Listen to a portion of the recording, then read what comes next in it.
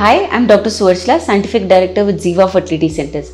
When sperms are absent in an ejaculate, it is termed as azoospermia and we have seen this in many of our videos. In such a case, hormonal evaluations are performed to see if there is a likelihood that sperms are being produced in the testis but not being transported and therefore they are not present in the ejaculate. So these procedures are termed as testicular extraction procedures of sperm. There are several types of testicular extraction procedures and they can be used to retrieve sperm from testis for use in assisted reproductive techniques such as ICSI, intracytoplasmic sperm injection. It's a type of IVF wherein a single sperm is taken and injected into an egg, thereby increasing your chances of fertilization, embryo production and therefore pregnancy rates as well. Let's try to look at the different types of testicular sperm retrieval procedures. Testicular sperm aspiration, also called as TSA, is a procedure which involves insertion of a needle directly into the testis to aspirate fluid and tissue that may contain sperm. Then there is TESE,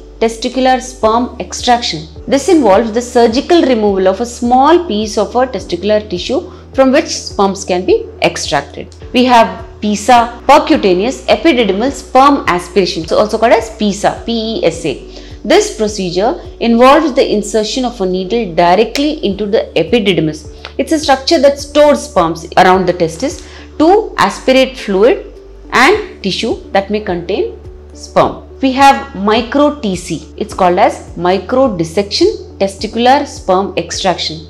This procedure involves the use of a microscope to identify and extract sperm containing tissue from the testis, whereby we can minimize the damage to surrounding tissue as well. The choice of the procedure will depend on numerous factors such as underlying cause of infertility, the presence and quality of sperm in the ejaculate, the preferences of the couple and their fertility specialist and like I said, hormonal evaluation is also very important.